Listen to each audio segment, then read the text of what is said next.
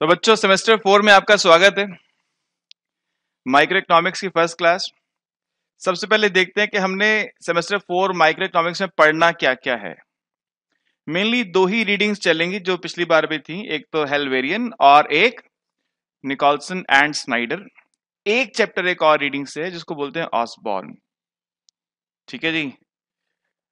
तो हमारा जो सिलेबस है, उसमें चार यूनिट्स हैं। There are four units in the syllabus of microeconomics.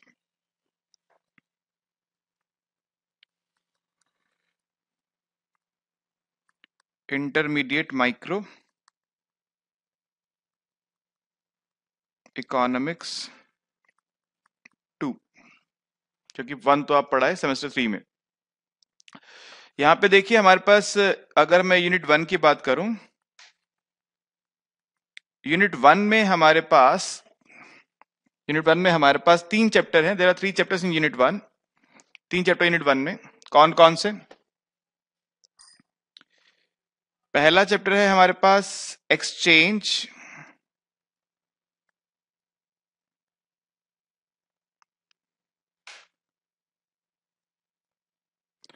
ठीक है जी?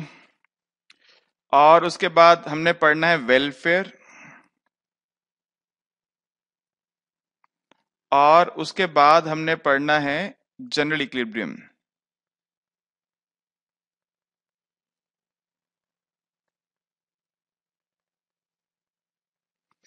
ये जो चैप्टर एक्सचेंज है,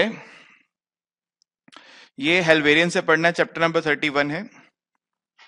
Chapter thirty one from Hal Varian और जो वेलफेयर है, ये भी हेलवेरियन से पढ़ना है chapter number thirty three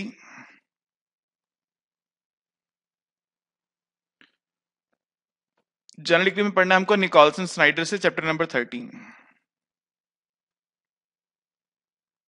Hal Varian के लिए मैं एच लिख देता हूँ। स्नाइडर के लिए एन लिख देता हूँ, निकोलसन।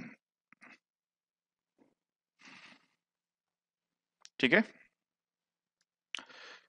इसके बाद यूनिट फोर आप कहेंगे, सर वन के बाद तो टू आता है काउंटिंग भूल गए आप।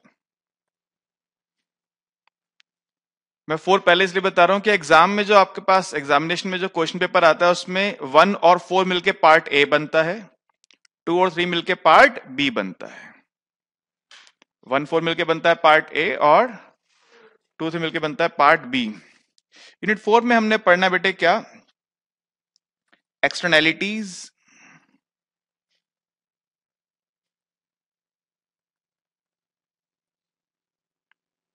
public goods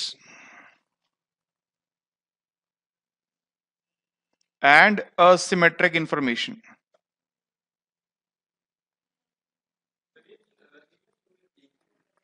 तीन चैप्टर हैं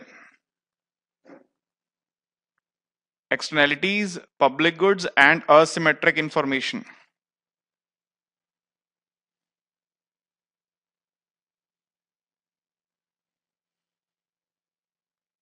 तीन चैप्टर हैं जी ठीक है externalities public goods and asymmetric information ये तीनों हमको हेलवेरियन से पढ़ने हैं chapter thirty four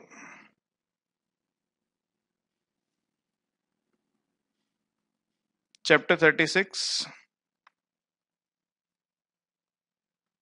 chapter thirty seven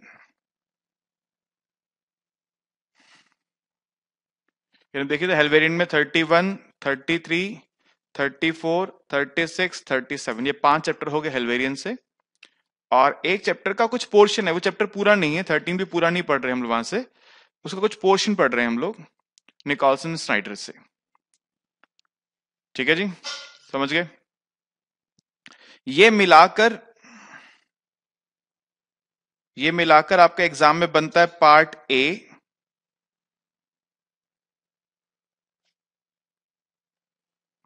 part A और part B fifty fifty percent marks का obviously paper seventy five marks का है। दोनों fifty percent fifty percent weightage रखते हैं fifty percent part A fifty percent part B और यहाँ आपको आपको करने होंगे two out of four questions part A में करने two out of four questions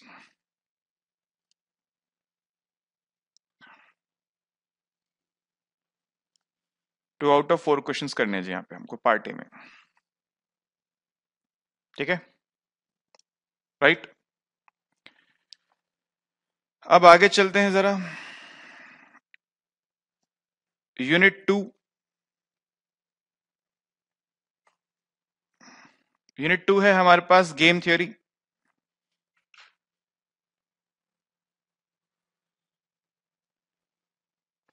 game theory जो है हमको दो रीडिंग्स में से पढ़नी है। ठीक है? दो चैप्टर पढ़ने हमारे को इसके। लिखिए। एक तो पढ़ना है हमको chapter number eight from Nicholson Snyder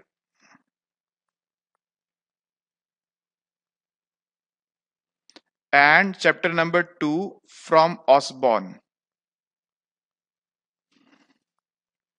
sem six में जाकर जो बच्चे गेम थ्योरी ऑप्ट करते हैं सेम फाइव में सेम सिक्स में आपके पास ऑप्शन आती है। जो बच्चे गेम थ्योरी ऑप्ट करते हैं, ठीक है? उसमें ऑसबॉर्न ही लगी होती है। उस ऑसबॉर्न की रीडिंग का एक चैप्टर यहाँ पर आपके लिए है। ठीक है? बच्चे अभी सेम फोर में जब गेम थ्री पढ़ते तो उनको लगता है हम आगे जाके गेम थ्री ज़रूर लेंगे। जो हमारे पास पढ़ते हैं, कहते हैं हम गेम थ्री ज़रूर लेंगे। लेकिन कॉलेज में बहुत कम ऐसे लोग होते हैं जो गेम थ्री ऑप्ट करते हैं थर्ड ईयर में जाके। तो मैं तो ये कहूँगा, अगर आपको समझ में आए गेम थ्योरी तो आप ज़रूर लीजिएगा, ठीक है? और समझ में आएगी नाने की वजह नहीं है कोई। इसी के बाद आती है यूनिट थ्री यूनिट थ्री में हमने पढ़ना है, एक तो पढ़ना है, ये है मार्केट फॉर्म्स यूनिट थ्री का नाम क्या है? Market forms and strategic information market forms and strategic information ये इसका नाम है। और इसके अंदर पढ़ना है, हमको एक चैप्टर पढ़ना है मोनोपली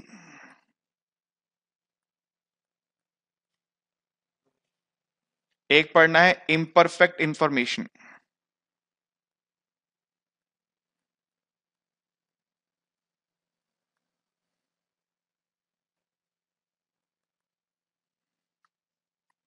मोनोपली और इम्परफेक्ट इंफॉर्मेशन ये दोनों चैप्टर निकॉल्सन एंड स्नाइडर से पढ़ने हैं। चैप्टर 14 है मोनोपली निकॉल्सन स्नाइडर का। और इम्परफेक्ट इंफॉर्मेशन चैप्टर 15 है निकॉल्सन स्नाइडर का।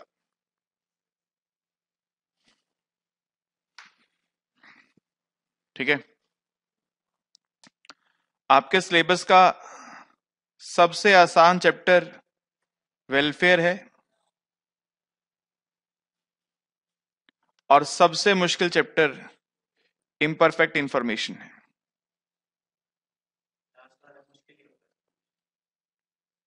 इसको मैंने लास्ट में लिखा सर ये यूनिट फोर उसके बाद आती है, मैंने ऊपर लिखा कि वो पार्ट ए का पार्ट है ना। ये दोनों मिलके क्या है? ये दोनों मिलके पार्ट बी बनते हैं। ये दोनों मिलके क्या बनते हैं? दोनों मिलके यूनिट मिलके बनते हैं पार्ट बी और पार्ट बी में again you have to attempt two out of four questions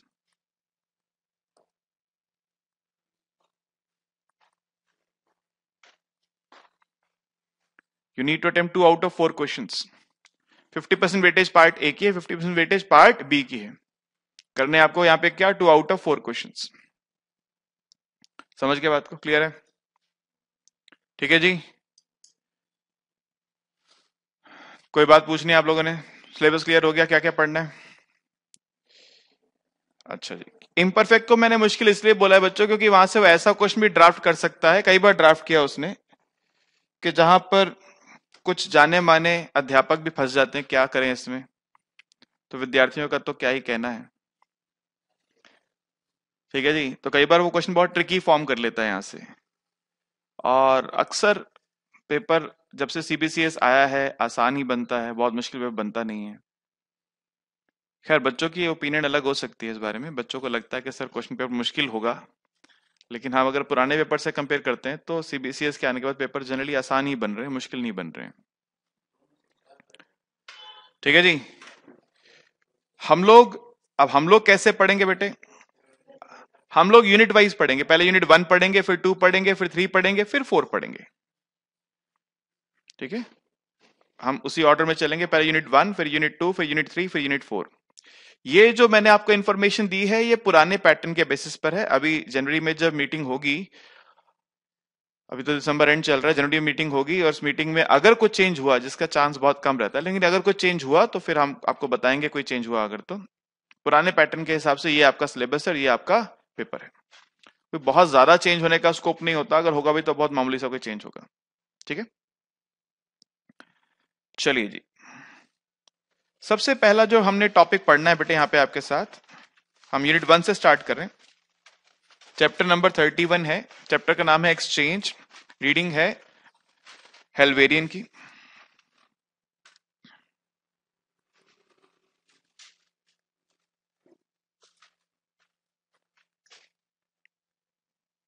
exchange सबसे पहली चीज़ है बेटे यहाँ पर general equilibrium versus partial equilibrium आपको लॉ ऑफ़ डिमांड याद है? Law of demand. याद है किसी को? सभी को याद होगा। क्या था लॉ ऑफ़ डिमांड बताओ? पूरी बात तो बोली नहीं आपने। अदर थिंग्स कांस्टेंट ये जो अदर थिंग्स कांस्टेंट है, ये हमको देता है क्या? ये अदर थिंग्स कांस्टेंट हमको देता है कि हम बाकी बातों को कांस्टेंट रख के बस ये रिज़ल्ट निकाल रहे हैं। तो हम पार्शियल रिज़ल्ट निकाल रहे हैं keeping everything else as constant तो उसको बोलते हैं क्या हम पार्शियल इक्लिब्रियम जहाँ पे हम एक सिंगल मार्केट का, एक सिंगल प्रोडक्ट का इक्विलिब्रियम फाइंड आउट कर रहे हैं keeping everything else as constant ceteris paribus इसको बोलते हैं क्या? पार्शियल इक्विलिब्रियम और क्योंकि ये कंसेप्ट एल्फ्रेड मार्शल ने दिया था, इसलिए इसको मार्शेलियन इक्विलिब्रियम भी कहते हैं। ठीक है? तो पहली बात क्या लिखेंगे? लिखिए, partial equilibrium.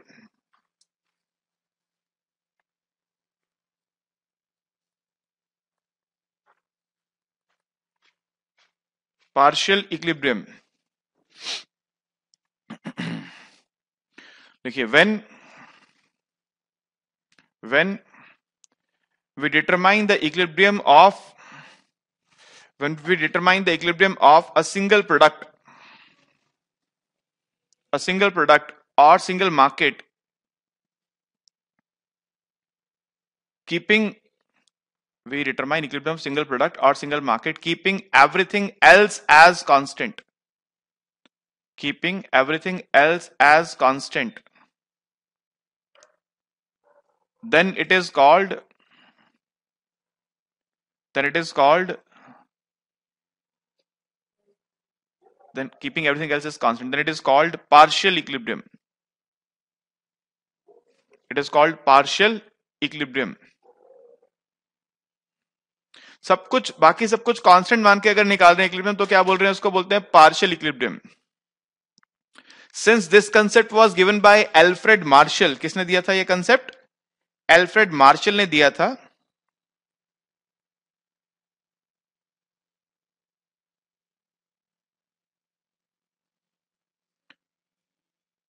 Since this concept was given by Alfred Marshall मैंने लिख दिया उसका नाम बोर्ड पे Alfred Marshall so we also call it Marshallian equilibrium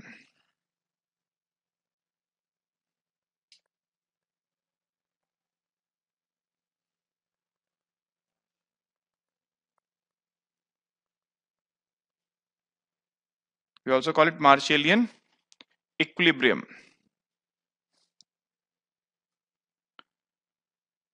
समझ गया जी बात क्लियर है?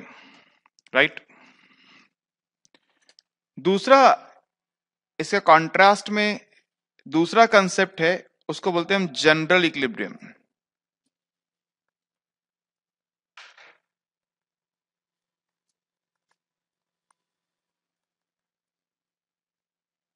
देखिए, एक बात, एक एग्जांपल देता हूँ पहले आपको। आप मारुति सुजुकी कंपनी है, समझते हैं कार बनाती ठीक है?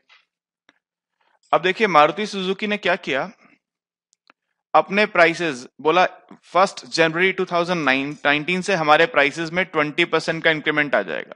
हमारी सब कारें 20 परसेंट महँगी हो जाएँगी। ठीक है जी? उसका इंपैक्ट क्या होगा? उसका इंपैक्ट ये होगा कि उसकी कारें कम बिकेंगी। कार कम बिकेगी तो कार का प्रोडक्शन कम करना पड़ेगा। कार का प्रोडक्शन कम करेंगे तो कम वर्कर्स की रिक्वायरमेंट होगी, कुछ वर्कर्स को हटा देना होगा। मारुति सब चीज़ें खुद नहीं बनाती लाइट खुद नहीं बनाती, बहुत सारी चीज़ें जो खुद नहीं बनाती, ठीक है? वो जो प्रोडक्ट्स हैं, वो और दूसरी फर्म से जो बनाती हैं, उनसे लेती है। अब जब मारुति कार कम बनाएगी तो उन सब कंपनीज़ की प्रोडक्ट की डिमांड भी कम हो जाएगी। वो भी प्रोडक्शन कम करेंगे, उनके यहाँ भी वर्कर्स की डिमांड कम होगी, कुछ वर्कर्स हट जाएँगे। मार्केट में इन जनरल जो डिमांड है वो कम हो जाएगी। डिमांड कम होने से क्या होगा? कार की डिमांड और कम होगी रिपरकशन इफ़ेक्ट आ रहा है। ठीक है जी? कार की डिमांड और कम होगी। फिर उसके बाद दोबारा से कुछ कम प्रोडक्शन करना पड़ेगा। अल्टीमेटली जहाँ पर जाके सब चीज़ों को मिलाकर, जहाँ पर जाकर इक्विलिब्रियम होगा वो क्या है? जनरल इक्विलिब्रियम जहाँ पर बहुत सारी मार्केट्स एक साथ इंटरेक्ट कर रही हैं।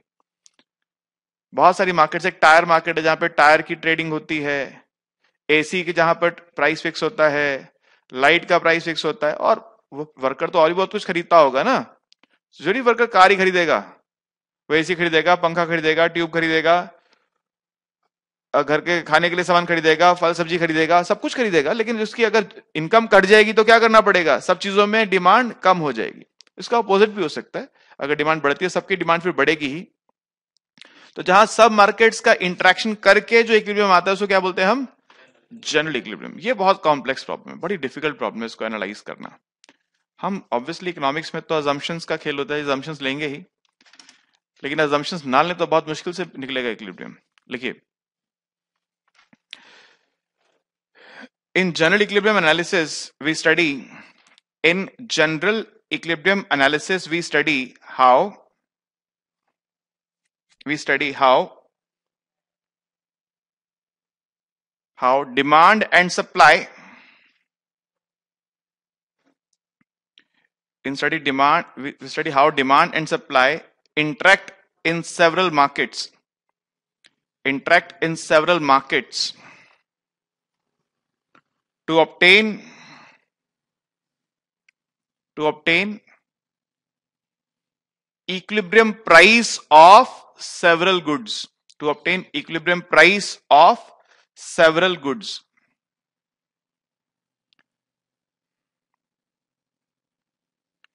This concept was given by leon walras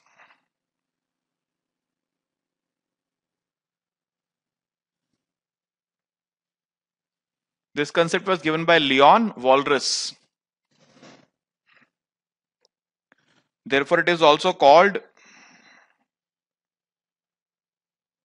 Walrasian equilibrium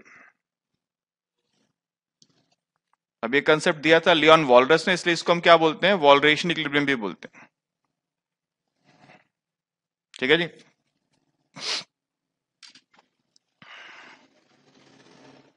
हम्म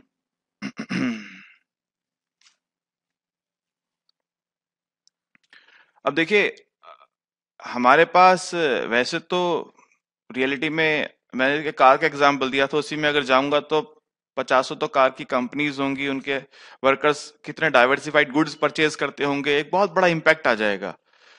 तो मॉडल को वैसे स्टडी करना बहुत मुश्किल है तो इसलिए हमें कुछ अजम्पन लेनी पड़ेंगी। Since the general equilibrium is uh, a complex problem. General equilibrium is a complex problem.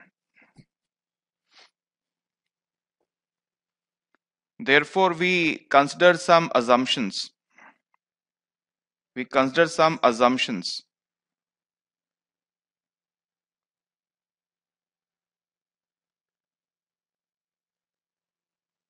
Therefore, we consider some assumptions.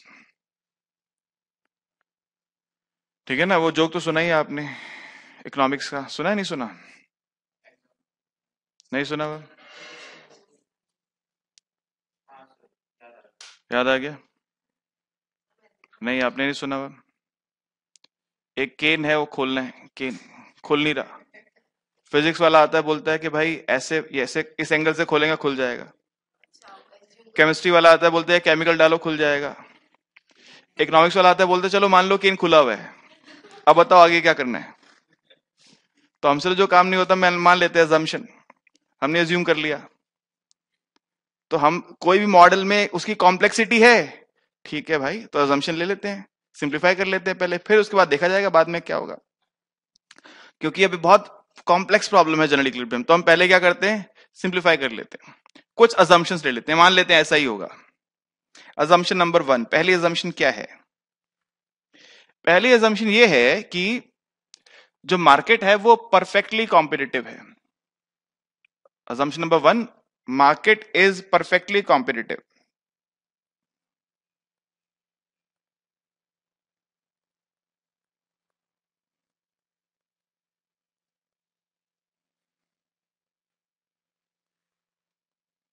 market is perfectly competitive ठीक है जी so there are large number of buyers and large number of sellers there are large number of buyers and large number of sellers each buyer and each seller each buyer and each seller considers each buyer and each sellers each seller considers the prices as given Each buyer and each seller considers the prices as given.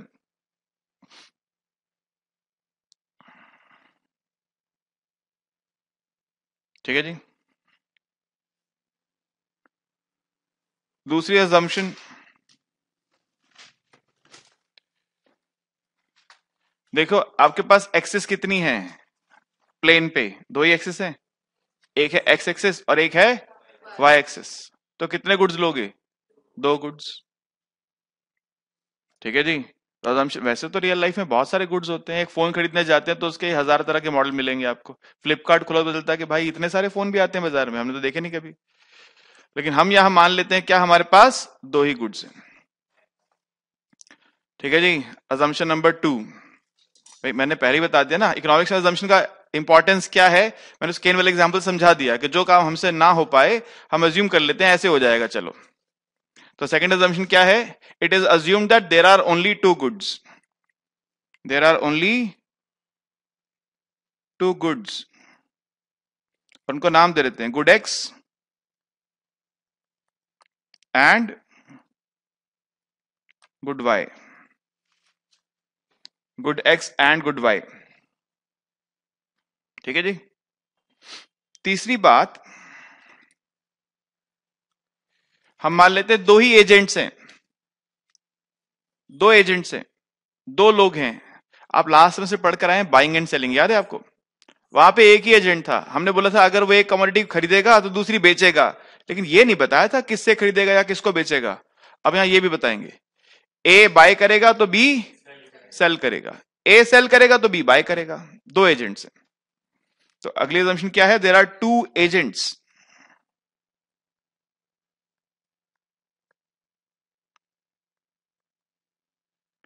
agent A and agent B यहाँ कुछ बच्चे मुझे बोलेंगे, sir, अभी अभी अभी अभी आपने एजम्पन वन में बोला मार्केट परफेक्टली कॉम्पिटेटिव है। लार्ज नंबर ऑफ़ बायर्स और लार्ज नंबर ऑफ़ सेलर्स हैं। अभी तीसरे में आपने बोल दिया कि दो ही लोग हैं, ये क्या बात है? तो आपस में टकरा गई एजम्पन तो हम यहाँ पे ये कहते हैं कि जो एजेंट ए है, वो एक पर्टिकुलर एजेंट नहीं है, वो ग्रुप ऑफ़ एजेंट्स है, जिनकी प्रेफरेंसेस एक जैसी हैं। यूटिलिटी फ़ंक्शन जिनका एक जैसा है। और agent B group of agents है उन लोगों का जिनकी प्रेफरेंसेस यूटिलिटी फ़ंक्शन एक जैसा है। तो मतलब हमने ये मान लिया कि दो तरह की प्रेफरेंसेज हैं। दो एजेंट्स हमने क्या माना कि दो तरह की प्रेफरेंसेज हैं। एक प्रेफरेंसेस को एजेंट ए रिप्रेजेंट कर रहा है वो ग्रुप है, और एक प्रेफरेंसेस को एजेंट बी रिप्रेजेंट कर रहा है वो दूसरा ग्रुप है। तो there are two kind of preferences ठीक है जी बात? समझ गए? क्लियर इसके बाद अजम्पन नंबर फोर यह है pure exchange economy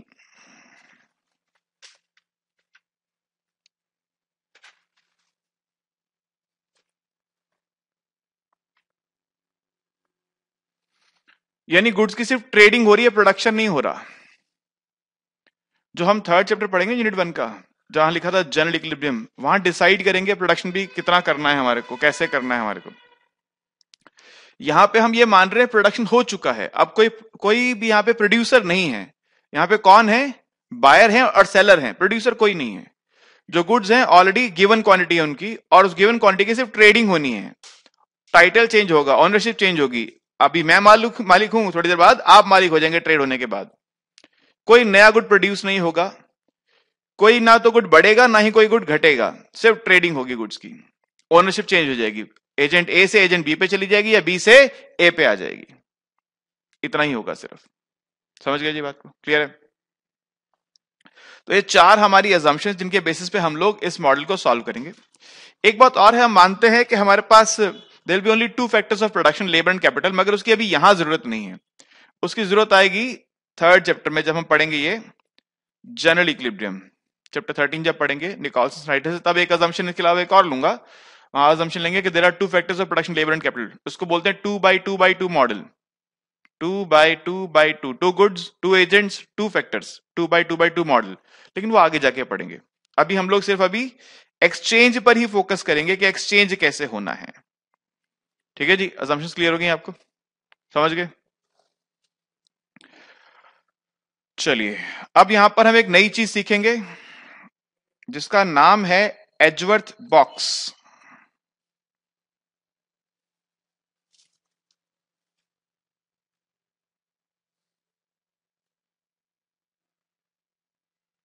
Edgeworth box. Edgeworth box क्या है जी? ये सिखाने से पहले मैं आपको एक चीज़ बता दूँ, जो आप पहले से जानते हैं, लास्ट सेमेस्टर में पढ़कर आए हैं, जिसको बोलते हैं क्या हम एंडाउमेंट। याद है आपको?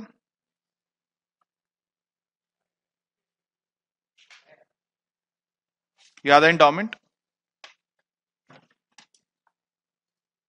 याद है एंडाउमेंट क्या था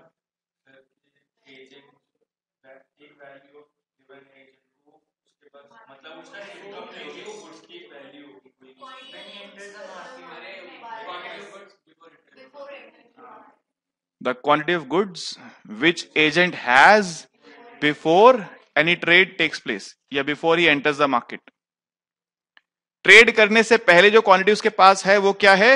एंडोमेंट है। तो लिखिए endowment represents the quantity of goods endowment represents the quantity of goods which agent has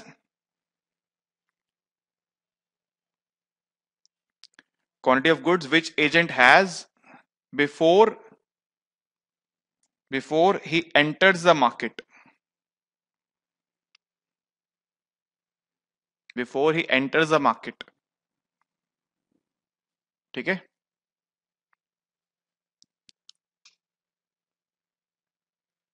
W one A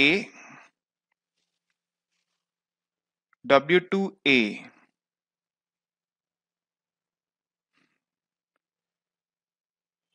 नीचे जो वन टू है, वो गुड्स के लिए है गुड वन गुड टू और ऊपर जो ए है, वो एजेंट के लिए है एजेंट ए तो W one A W A क्या है? ये है endowment of agent A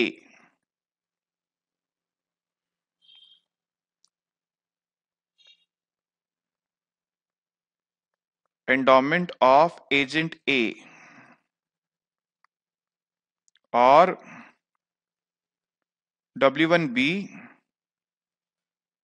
W two B ये है एंडोमेंट ऑफ़ एजेंट बी आपकी जो रीडिंग है ना हेलवेरियन उसने एजेंट का नाम नीचे लिखा हुआ है और गुड का नाम ऊपर लिखा हुआ है। मैं उल्टा लिखता हूँ। उसकी वजह यह है कि बच्चे मैं देखता हूँ, गलती कर जाते हैं। जब हम कैलकुलस यूज़ कर रहे होते हैं डब्ल्यू टू को डब्ल्यू स्क्वायर मान के डेरिवेटिव करते समय टू डब्ल्यू लिख के आ जाते हैं। एग्ज़ाम का प्रेशर उन पर इतना ज़्यादा होता है कि वो भूल जाते हैं कि ये स्क्वायर नहीं है गुड का नाम है डब्ल्यू टू है। वो डब्ल्यू टू को डब्ल्यू स्क्वायर मान के डेरिवेटिव करते हैं टू डब्ल्यू और आंसर निकाल के आ जाते हैं उसके बेसिस पर कुछ ना कुछ। कई जगह कैलकुलस यूज़ करना होता है हमको। जैसे हम डब्ल्यू में तो नहीं होगा, लेकिन एक्स में होगा। अगर यही बात हम लिखेंगे तो एक्स में भी लिखेंगे। एक्स टू एक्स वन ऊपर लिख देंगे। तो एक्स टू को एक्स स्क्वायर मानकर उसका करते हैं डेरिवेटिव टू एक्स लिख के आ जाते हैं।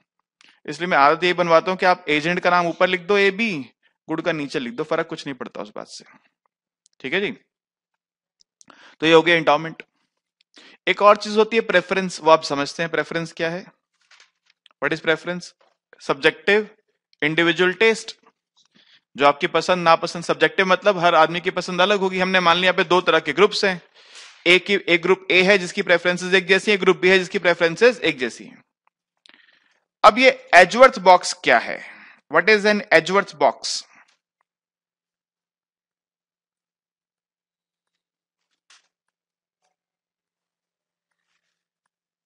लिखिए an Edgeworth box is a tool या graphical tool Edgeworth box is a graphical tool which depicts which depicts the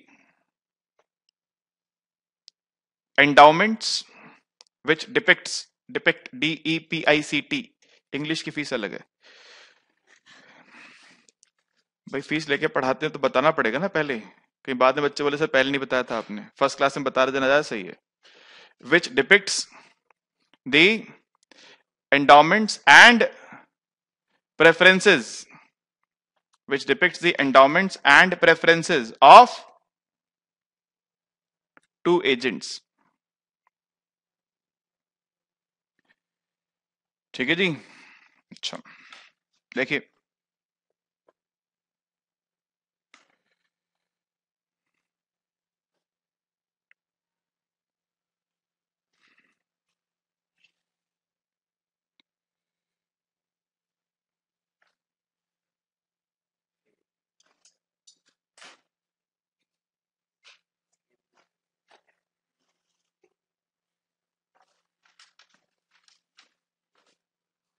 तो मेरा स्किल यूज़ करना पसंद नहीं है आपको जेलेसी हो रही है आपको। अच्छा। एक दिन ऐसा आएगा इंडिया में सब बच्चे भी लैपटॉप पे पढ़ेंगे, सबके पास लैपटॉप होगा, और मैं जो भी लैपटॉप पे लिखूँगा, सब कुछ अगर मैं तब तक ज़िंदा रहा, पढ़ाता रहा तो एक दिन ऐसा आएगा ज़रूर, मैं जो भी लिखूँगा लैपटॉप पे, वो बच्चों को नोट नहीं करना पड़ेगा, अपने आप उनके लैपटॉप पे आता जाएगा, वो बैठ के देखेंगे सिर्फ़ क्या हो रहा है। हैं? फिर घर जाके दोबारा लिखेंगे कॉपी पे?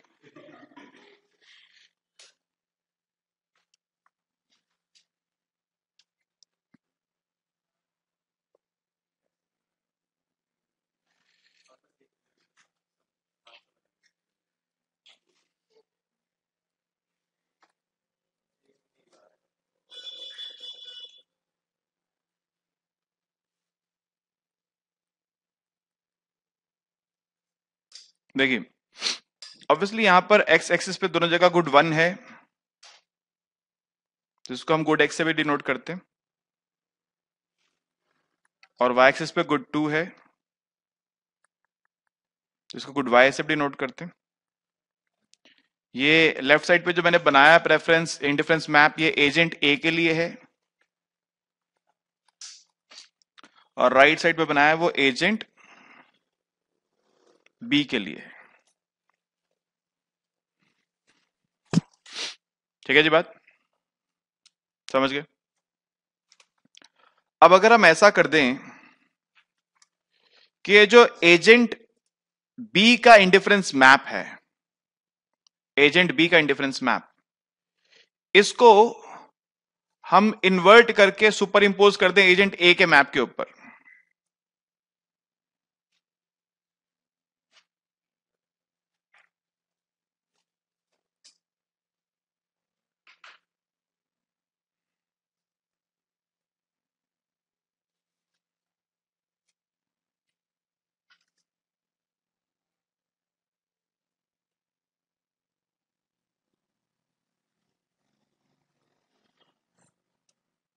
देखिए, ये ए का आईसीस चल रही है और इधर से हमने बी की आईसीस ये ले ली। एजेंट बी के मैप को क्या किया? देखो देखो देखो एजेंट बी के मैप को क्या किया? इन्वर्ट किया इस डायरेक्शन में। ऐसे इन्वर्ट किया। इन्वर्ट करके ए के मैप के ऊपर रख दिया। तो ये बॉक्स बन गया आपके सामने।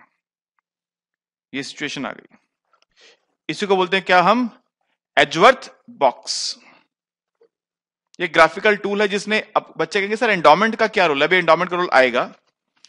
इस इस टूल के अंदर, इस बॉक्स के अंदर हमने, इस बॉक्स के अंदर हमने दोनों एजेंट्स की प्रेफरेंसेस भी रिप्रेजेंट कर दी हैं एक साथ और दोनों दोनों की एंडोमेंट को भी रिप्रेजेंट कर दिया एक साथ। एंडोमेंट में बता रहा हूँ अभी कैसे उसका क्या रोल है। प्रेफरेंस आप देख पा रहे हैं, दोनों की आईसीएम दिखा दी। ठीक है जी? ये जो एजवर्थ बॉक्स है ये दिया था किसने? फ्रांसिस सिद्रो एजवर्थ ने।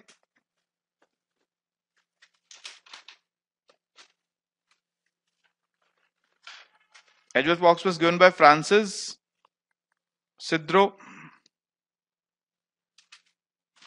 Edgeworth. बच्चे अक्सर पूछते हैं, सर एजवर्थ बॉक्स में एजवर्थ का क्या मतलब है? ये नाम है। Edgeworth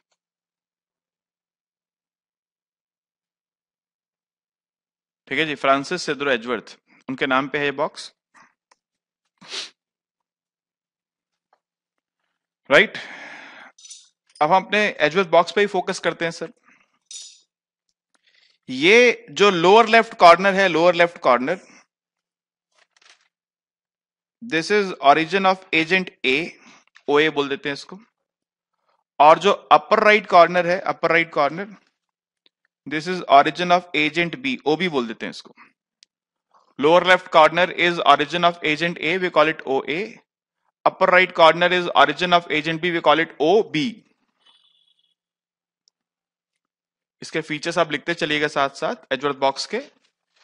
The lower left corner represents the lower left corner lower और लेफ़्ट दोनों बात एक साथ बोल रहा हूँ। Lower left corner represent origin of agent A and upper right corner represent upper right corner represent origin of agent B upper right corner represent origin of agent B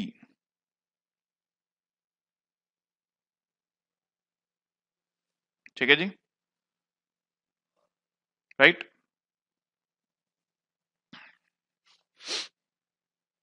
अब इसकी जो विथ है विथ कितनी होगी? The width of the Edgeworth box width of the Edgeworth box is equal to the sum of endowments is equal to the sum of endowments of good one sum of endowments of good one being held being held by two agents being held by two agents यानी W1A plus W N B ये ये क्या है इसकी with being held by two agents with कितनी है इसकी good one की जो एंडोमेंट दोनों के पास है, उसका सम कर देंगे। जो दोनों एजेंट के पास गुड वन के एंडोमेंट है, उसका सम कर दीजिए। वो सम क्या आएगा? वो सम आएगा एंडोमेंट वो सम आएगा विथ ऑफ़ एजवर्थ बॉक्स और इसकी हाइट क्या होगी? अगला पॉइंट लिखिए height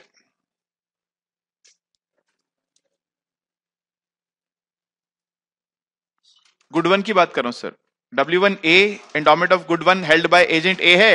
W one B endowment of good one held by agent B है। और हाइट क्या होगी? हाइट होगी sum of endowment of good two height is sum of endowment sum of endowments of good two being held by two agents W two A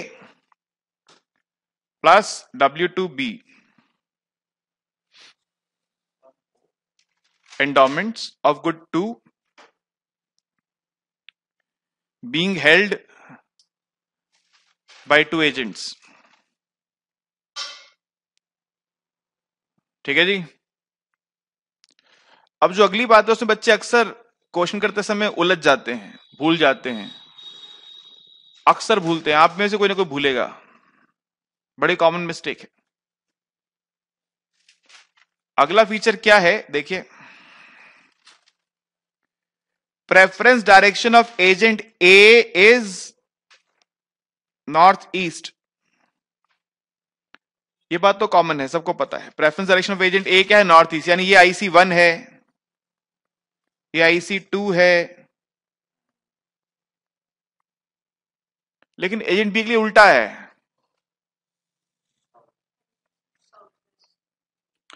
The preference direction of agent B is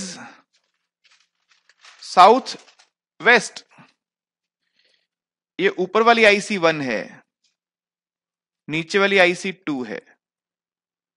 बच्चे अक्सर गलती कर जाते हैं। उनको यही याद रहता है, ऊपर जाएँगे हायर आईसी मिलेगी। ये अक्सर कॉमन मिस्टेक बच्चे करते हैं बी के लिए, क्योंकि हमने बी को तो इन्वर्ट करके सुपर इम्पोज किया है ना। तो उसकी आईसीज जो है, जितना नीचे आएँगे, उतना उसको फ़ायदा मिलेगा, उतना उसका वेलफेयर बढ़ेगा सेटिस्फेक्शन बढ़ेगा। जो भी नंबर आप डाल रहे हैं नंबर काउंटिंग तो मैंने करी नहीं sir of agent A is north east and preference direction of agent B is south west यानी एजेंट बी के लिए बात ध्यान रखने की यह है कि जितना आप नीचे आएँगे, उतना उसका सेटिस्फेक्शन बढ़ेगा। एजेंट ए के लिए तो नॉर्मल बात है। बी में अक्सर बच्चे गलती करके बैठे होते हैं। समझ गया जी बात को? अच्छा जी। एक बात और बता दूँ आपको X one A x2a x1a x2a is the gross demand x1a x2a is the gross demand of two goods by agent a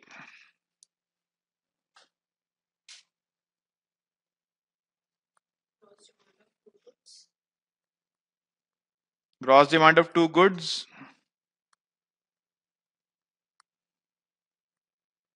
By agent A अब ग्रॉस डिमांड तो आप समझते हैं। The goods which agent have after the trade trade के बाद जो उसके पास है वो क्या है? ग्रॉस डिमांड है। ट्रेड से पहले जो था वो क्या था? एंडोमेंट था। ट्रेड के बाद जो है वो क्या है? ग्रॉस डिमांड है। इनका डिफरेंस क्या होता है? नेट डिमांड उसकी भी बात आएगी, लेकिन आगे आएगी। जब आगे आएगी, तब बात करेंगे नेट डिमांड की। अभी ज़रूरत नहीं है उसकी। तो X one A X two A क्या है? Gross demand of agent A इसी तरह से X one B X two B ये क्या है? It is the gross demand of two goods by agent B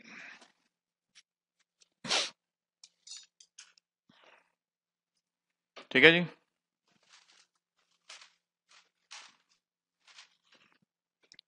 यहाँ से हम क्या मेजर करते हैं? From O A horizontal axis measures colour change कर लेते हैं। From O A horizontal axis measures X one A O A से हॉरिजॉन्टल एक्सिस क्या मेजर करती है? X one A good one जो agent one agent A demand कर रहा है. And vertical axis from OA measures X to A. Agent A जितना good two demand कर रहा है. ओए से हॉरिजॉन्टल एक्सिस क्या मेजर कर रही है?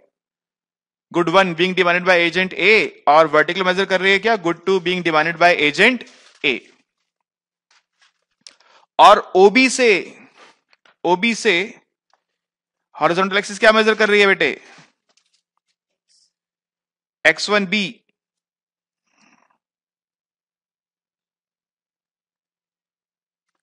and O B से वर्टिकल क्या मेजर कर रही है? X two B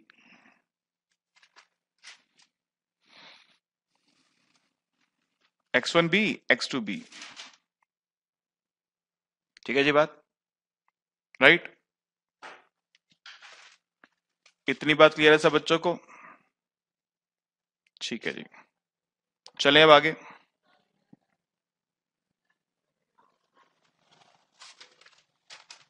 कुछ क्वेरी है, इसमें तो पूछ लीजिए। यू ने बताया एजवर्थ बॉक्स के बारे में सारी बातें आपके साथ डिस्कस करी हैं। अभी धीरे धीरे चीज़ें और बिल्डअप होंगी इसके ऊपर ही। ये आप समझ गए लोअर लेफ़्ट जो कॉर्नर है वर्टेक्स है वो एजेंट ए का ओरिजिन है अपर राइट जो वर्टेक्स है वो एजेंट बी का ओरिजिन है। ज़रूरी बात क्या है ए के लिए जितना हम नॉर्थ ईस्ट में जाएँगे उस, उतना उसका सेटिस्फेक्शन बढ़ेगा। जितना साउथ वेस्ट में जाएँगे उतना बी का सेटिस्फेक्शन बढ़ेगा। और देखो बेटे यहाँ पर अगर ए को ज़्यादा सर्टिफिकेशन मिलेगा तो सर्टनली बी का घटेगा क्योंकि जब ऊपर जा रहे हो ए की आईसी बढ़ रही है बी के साथ साथ घट भी रही है।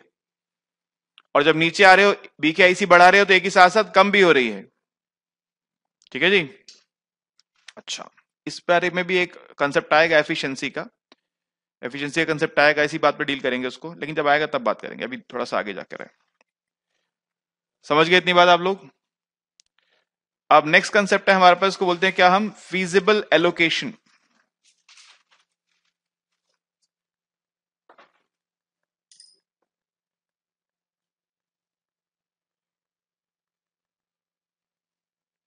फीजिबल एलोकेशन क्या होती है जी? फिजिबल एलोकेशन फिजिबिलिटी मतलब क्या होता है?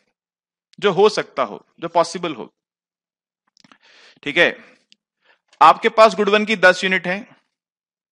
मेरे पास छह यूनिट है। टोटल कितनी यूनिट्स हैं?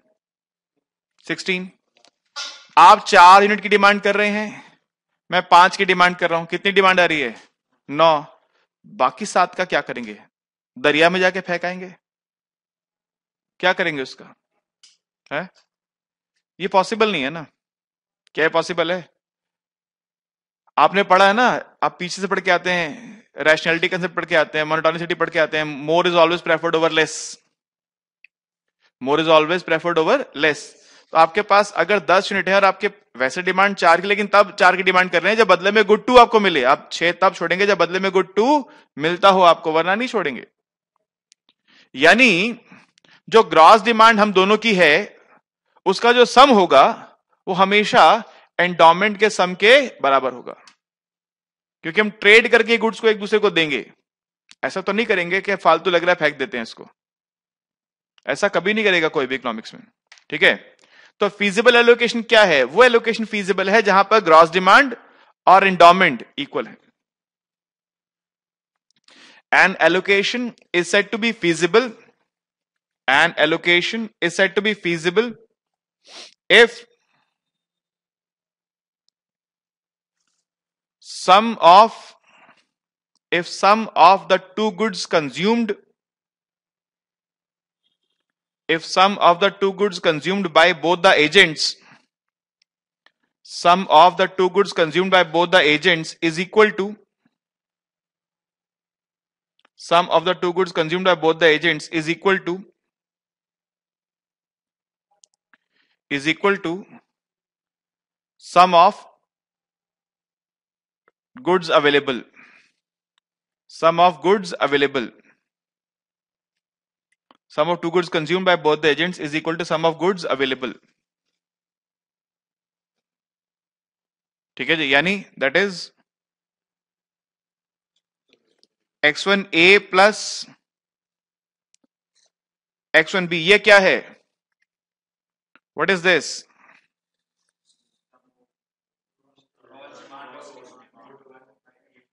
G. Gross demand of good one.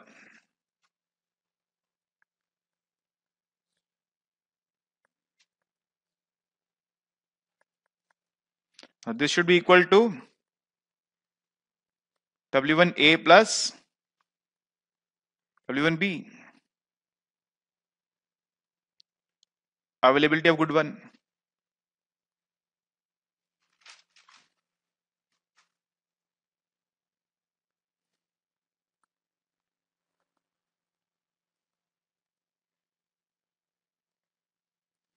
इसी तरह से X two A plus X two B is equal to W2A plus W2B.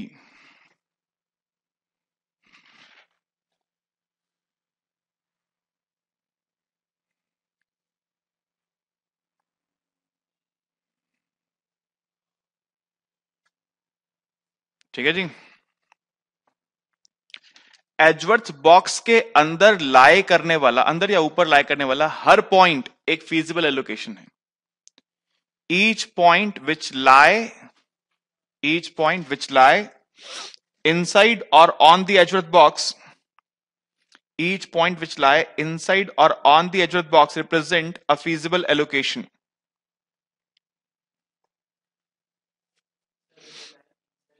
on the Edgeworth box represent a feasible allocation हर एक वो पॉइंट जो एजवर्थ बॉक्स के अंदर लाए करता है या उसके ऊपर लाए करता है वो एक फीजिबल एलोकेशन है जी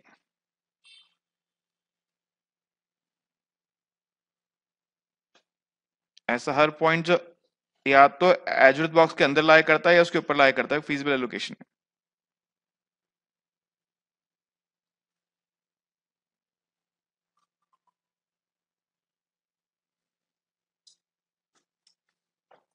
अरे।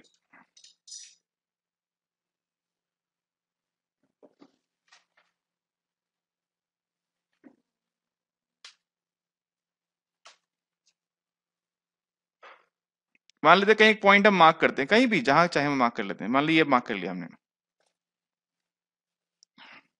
Let us call this point as E one अब इस पॉइंट का मतलब क्या है सर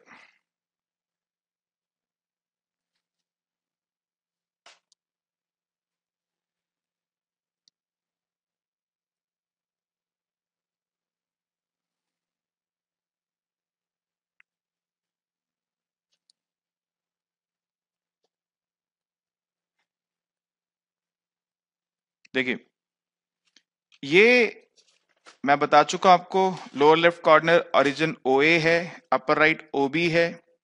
ए से यहाँ तक का जो डिस्टेंस है what is this distance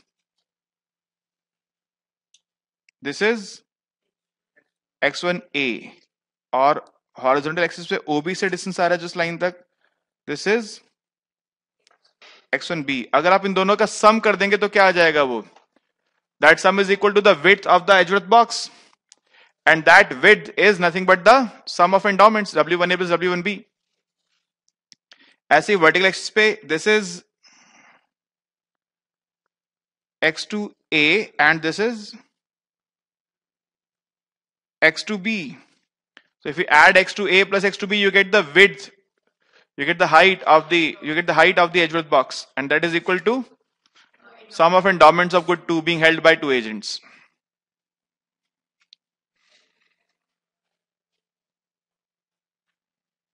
समझ गया जी बात को? क्लियर है? सबको क्लियर है बात ये? कोई क्वेरी तो नहीं है किसी को? तो हर पॉइंट जो होगा, वहाँ पर ये जो इक्वेशन है होल्ड करेगी। अगर मैं एक्स एक्सिस पे मान लो, मैं ये पॉइंट बोल देता हूँ। Suppose I take point here this is E two Now, what is happening at E2? Entire good 2 is being consumed by agent agent A. Entire भाई गुड टू तो ओबी से जितना नीचे आएँगे, उतना good two agent B consume करेगा ना horizontal axis पे अगर आप हैं तो एजेंट बी ने गुड टू कंज्यूम किया ही नहीं है इस एक्सिस पर, ये जो ऊपर हॉरिजॉन्टल एक्सिस यहाँ पर एजेंट बी ने गुड टू कंज्यूम किया ही नहीं है। तो at this axis X two B is zero और नीचे, इसी के नीचे हॉरिजॉन्टल जो नीचे है ओ ए के साथ चल रही है, वहाँ पे क्या हो रहा है? यहाँ पर एक्स वन ए है zero sorry X two A है zero at the at the upper horizontal axis X two B zero है। At the lower horizontal axis X two A zero है। अपर हॉरिजॉन्टल पे agent B good two consume नहीं कर रहा। और lower horizontal पे agent A good two consume नहीं कर रहा। ठीक है जी? बताया था ना? ओ ए से जितना ऊपर जाएँगे, उतना एक्स टू ए है। ऊपर गए ही नहीं तो एक्स टू ए ज़ीरो हो गया। ओबी से जितना नीचे आएँगे, उतना एक्स टू बी है। नीचे आए ही नहीं तो एक्स टू बी ज़ीरो रहा। ठीक है जी? ऐसे देखिए, ये जो ओ ए से वर्टिकल एक्सिस यहाँ पे क्या हो रहा है? यहाँ पर एजेंट ए जो है, वो गुड वन कंज्यूम ही नहीं कर पा रहा। Agent A good one consume नहीं कर पा रहा यहाँ पे ओ ए की वर्टिकल एक्सिस पर। तो यहाँ पर क्या है? एक्स वन ए ज़ीरो है। At this axis X one A is zero ये बात न्यूमेरिकल करने में आपके काम आएगी। जब न्यूमेरिकल्स आएँगे, उस समय बात काम आएगी आपके।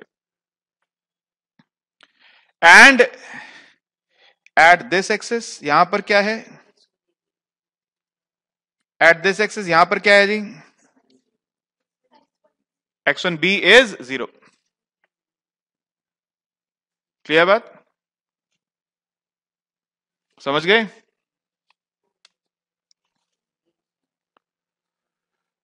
क्या ये बात सब बच्चे समझ चुके हैं? मैं डिस्टेंस की बात नहीं कर रहा। मैं डिस्टेंस की, मैं तो बोल रहा हूँ, इस एक्सिस पे क्या है? At this axis at this axis यहाँ पर क्या है? एक्स वन ए ज़ीरो है। एट दिस एक्सिस यहाँ पर क्या है? एक्स वन बी ज़ीरो है। ठीक है जी? लिख दू। यहाँ पर क्या है? एक्स वन ए ज़ीरो है। यहाँ पर क्या है?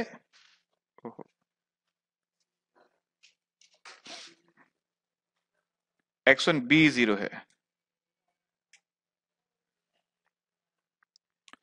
जो नीचे हॉरिजॉन्टल एक्सिस पे क्या है?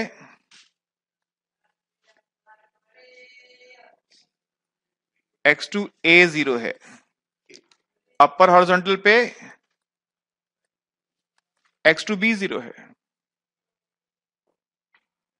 समझ गया बात को? क्लियर है?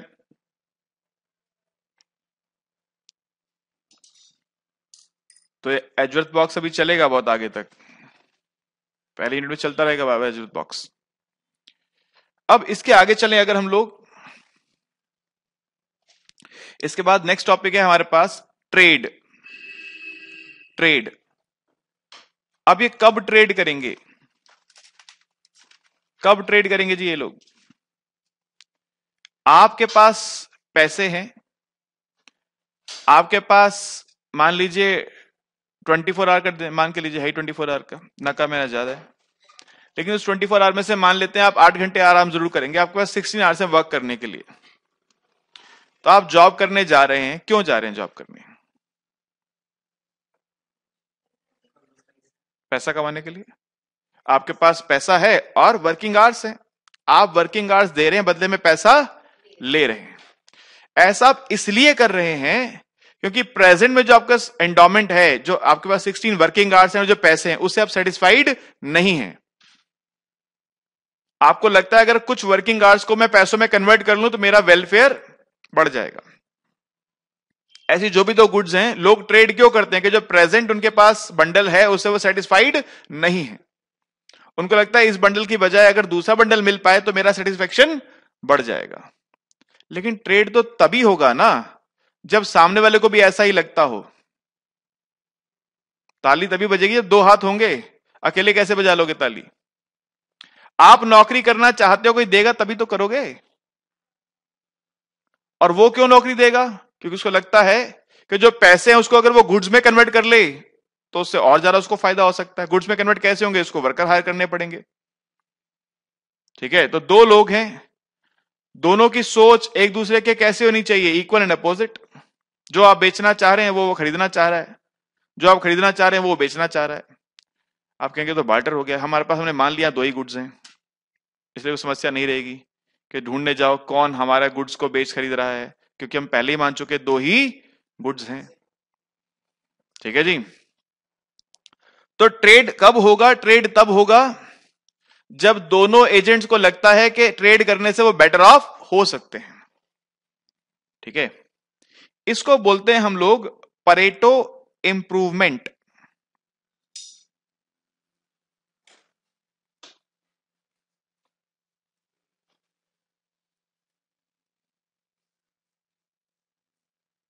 Pareto improvement Pareto improvement एक ऑर्गेनाइजेशन है, रॉबिन्स के नाम से चलाते हैं। वो क्या करते हैं, रेस्टोरेंट्स में रात को जब खाना बच जाता है, रेस्टोरेंट वाले क्या करते हैं उसको? गटर में फेंक देते हैं। अगले दिन तो खाएगा नहीं कोई। अब वो रॉबिन्स वाले क्या करते हैं, वो लोग रेस्टोरेंट रेस्टोरेंट जाते हैं। उनको बोलते हैं, भाई, जो खाना बच गया, हमको दे दो। उनसे खाना ले लिया। और सड़क पे पटरियों में जो लोग बैठे हुए जिनके पास खाना नहीं है खाने को जाकर उनको खिलाए थे इस खाने को देने से रेस्टोरेंट वाले को क्या नुकसान हुआ? कुछ भी नहीं। उसने तो फेंकना ही था अल्टीमेटली लेकिन जो पटरी पे भूखा बैठा था, उसको खाने को मिल गया। इससे उसको मिल गया क्या? फ़ायदा। ठीक है जी? किसी दूसरे का नुकसान किए बिना किसी एक का आपने फ़ायदा कर दिया। अगर उसके वर्किंग आवर्स में जाओगे, जिस समय वर्किंग आवर में है, उस समय कहोगे, खाना दे देगा नहीं दूँगा भाई। मेरे को अपने कस्टमर को, अपने क्लाइंट्स को खाना सर्व करना है, बच जाएगा, उसके बाद दूँगा। जब बच गया है, उसने फेंकना ही है तो आपको दे रहा है। आप जाके उनको दे सकते हैं जिनको उसकी रिक्वायरमेंट है। ये क्या है? Pareto improvement when no one sorry when someone can be made better off without making anyone as worse off किसी एक का फ़ायदा हो सकता है, दूसरे का नुकसान किए बिना। तो ये क्या है? परेटो इंप्रूवमेंट है। ठीक है जी? लिखे डेफिनेशन एग्ज़ाम्पल इसलिए दिया कि आपके इलाके में भी अगर कोई रेस्टोरेंट हो तो आप ऐसी हेल्प कर सकते हैं। लिखिए Pareto improvement when someone can be made better off when someone can be made better off without making without making anyone else worse off when someone can be made better off without making someone else worse off then this situation is known as this situation is known as pareto improvement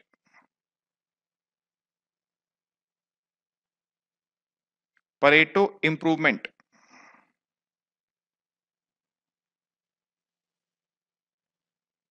किसी एक का भला कर दो और उसमें दूसरे नुकसान नहीं हो रहा तो ये क्या है? परेटो इंप्रूवमेंट है।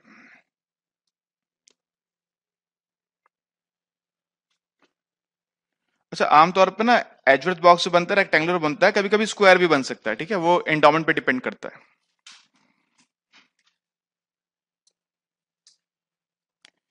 एक चीज़ और बतानी है कि इन दोनों का जो एंडोमेंट होगा दोनों एजेंट्स का एंडोमेंट एक ही पॉइंट होगा एजवर्थ बॉक्स में, लेकिन वो अभी नहीं बता रहा। वो जब मैं न्यूमेरिकल करूँगा, तब बताऊँगा। वहाँ से आपको दिखा पाऊँगा ऐसा क्यों हो रहा है। दोनों एजेंट्स का जो एंडोमेंट होगा, वो एक ही पॉइंट पे लाई करता होगा। एजेंट ए का एंडोमेंट मार्क कर दो या बी का मार्क कर दो, एक ही पॉइंट पे आएगा। वो जब मैं न्यूमेरिकल करके दिखाऊँगा तो आपको दिखाऊँगा ऐसा क्यों हो रहा है। ठीक है? अगेन यहाँ पर क्या है? दिस इज़ ओ ए और ये एजेंट ए की आईसीज हैं। this is OB और ये एजेंट बी की आईसी से। ठीक है? This is IC one of agent B this is IC two of agent B and here we mark IC one for agent A IC two for agent A And let us assume that this point is the endowment. This point W is the endowment. This point W is endowment. और मैंने अभी आपको बोला कि दोनों point का endowment एक ही पॉइंट पे आएगा। दोनों एजेंट्स का इंडोमेंट एक ही पॉइंट पे आएगा। Take my word for this अभी आप मेरी बात मान लीजिए। मैं बात आपको इलिस्ट्रेट करूँगा न्यूमेरिकल करते समय कैसे ऐसा हो रहा है। अभी आप मेरी बात मान लीजिए। कि मैं बोल रहा हूँ तो ऐसा ही होगा। लेकिन जब मैं आपके सामने न्यूमेरिकल करूँगा तो दिखाऊँगा ऐसा कैसे हो रहा है। तो ये डब्ल्यू पॉइंट क्या है जी? एंडोमेंट है। यानी एजेंट ए जो है एजेंट ए वो कौन सी आईसी पर है? आईसी टू पर है। एजेंट बी कौन सी आईसी पर है? आईसी टू पर है। ठीक है जी बात? अब अगर हम अगर हम पॉइंट डब्ल्यू से पॉइंट पी पे आ जाएँ तो क्या होगा? If we move from point W to point P तो क्या होगा? एजेंट बी के लिए सोचिए एजेंट बी के लिए। डब्ल्यू और पी एक ही आईसी पर है अलग अलग आईसी पर हैं? सेम आईसी पर है। यानी एजेंट बी क्या रहेगा? इंडिफरेंट रहेगा। लेकिन एजेंट ए को क्या होगा? वो हायर आईसी पे चला गया। मैंने बताया था ना प्रेफरेंस डायरेक्शन कहाँ है उसकी? नॉर्थ ईस्ट तो एजेंट ए सर्टनली किसी हायर आईसी पे चला जाएगा और क्या हो जाएगा? बेटर ऑफ़ बी का नुकसान हुआ क्या? नहीं हुआ। लेकिन ए का फ़ायदा हुआ क्या? हो गया। बिना बी का नुकसान हुए ए का फ़ायदा हो गया। ये क्या है? परेटो इंप्रूवमेंट ठीक है? डायग्राम बना लिया आप लोगों ने? लेकिन suppose initially we are suppose initially suppose initially the endowment is point W suppose initially the endowment is point w point w endowment aisa maan lete suppose initially the endowment is point w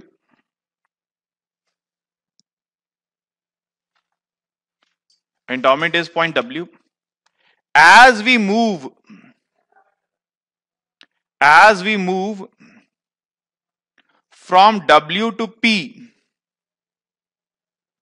as we move from w to p agent b remains indifferent as we move from point W to point P, agent B remains indifferent. While agent A agent A moves to higher IC. B indifferent रहा और A कहां चला गया higher IC पे चला गया Agent B remains indifferent while agent A moves to higher IC.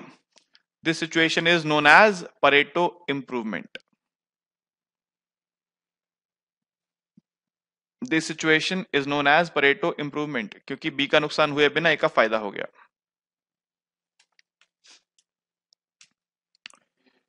जी ऐसे ही अगर मैं W से पॉइंट Q पर आ जाऊँ तो ए सेम आईसी पर है और बी के लिए क्या बताया था? जितना नीचे आएँगे, उतना बेटर ऑफ़ होगा। बी बेटर ऑफ़ हो गया। ए इंडिफरेंट है और बी क्या हो गया? बेटर ऑफ़ तो ये भी क्या है? परेटो इंप्रूवमेंट देखो similarly similarly as we move from point W to point Q as we move from point W to point Q W से Q पे जाएँगे तो क्या होगा as move from point W to point Q A remains indifferent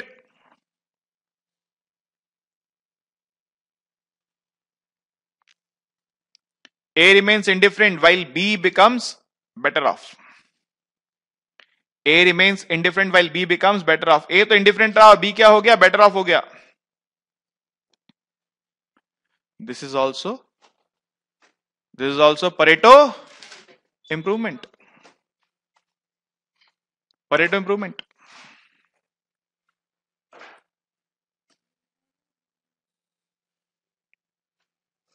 ये point R है जी R देखो। आर में क्या हो रहा है? दोनों हायर आईसी पे जा रहे हैं।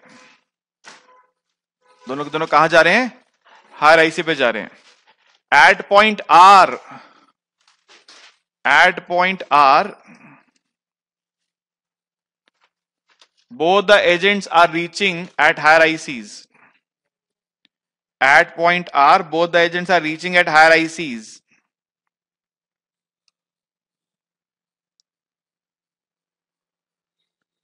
So this is also at point R, both the agents are reaching at higher ICs. So this is also Pareto improvement ये भी परेटो इंप्रूवमेंट है। ठीक है जी बात? समझ गया बात को? क्लियर तो यानी अगर दो आईसीस के बीच में कभी भी ऐसी लेंस शेप फिगर बनेगी तो वहाँ पे परेटो इंप्रूवमेंट का स्कोप हमेशा होगा।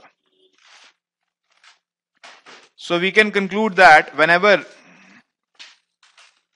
we can conclude that whenever there is a lens shaped figure between two ICs, we can conclude that whenever there is lens shaped figure between two ICs, there is scope for Pareto improvement. We can we can conclude that whenever there is lens shape, lens so then a lens lens shape figure between two ICs, या lens shape region between two ICs there is scope for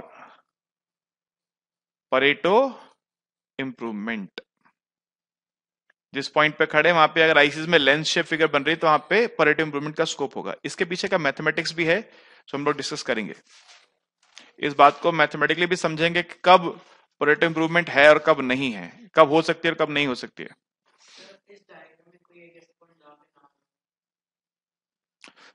sir वो बताने, वो उसको बोलते हैं Pareto efficiency जहाँ पे ICs tangent होती है, वहाँ पे परिडो एफिशिएंसी होती है।